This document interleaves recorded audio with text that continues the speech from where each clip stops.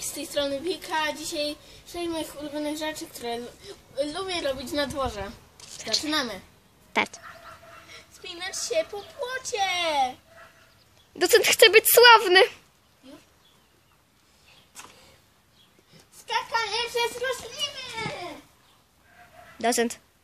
To, Wik, to Wiki kot, tylko ona przy 10 faktach się pomyliła, bo chciała napisać mam zwierzęcia, napisała nie mam zwierzęcia. Niestety. Przechodząc dalej do odcinka. Je jeździ na koniu na biegunach. Start. Skakać na trampolinie. Y, lub, y, lubię spędzać czas w basenie, ale dzisiaj była za zimna woda. Lubię huśtać się na huśtawce. To już koniec odcinka. Mam nadzieję, że Wam się podobało. Żeby być na bieżąco, zacznijcie subskrybować kanał.